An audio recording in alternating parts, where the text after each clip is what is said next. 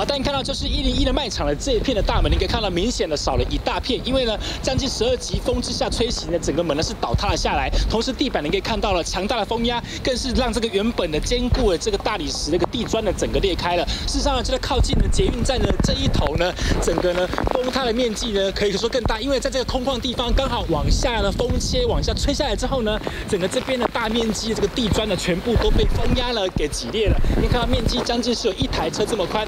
原本下方的这个地基呢，现在呢都还有这个水流出来哦。而这个地方呢，很多民众呢都会透过这个地方呢走进这个所谓的捷运站。但是呢，刚刚的风势强大时候呢，几乎连走都走不动了。而稍早我们还直接到了说呢，事实上呢，有民众呢躲风骑机车，结果呢，整个人呢就被风给吹倒了。一零一呢也赶紧的派出了救护车呢把他们给送医。总共是上十二级风之下呢，不只是地砖呢这边呢整个被吹裂了，另外那一头呢还有卖场的大门呢也整个都被吹瘫了。目前呢要暂时以临石门的加强固定，因为毕竟的台风还要持续大概快二十四小时左右了。就是目前在台北一零一最新情况，再把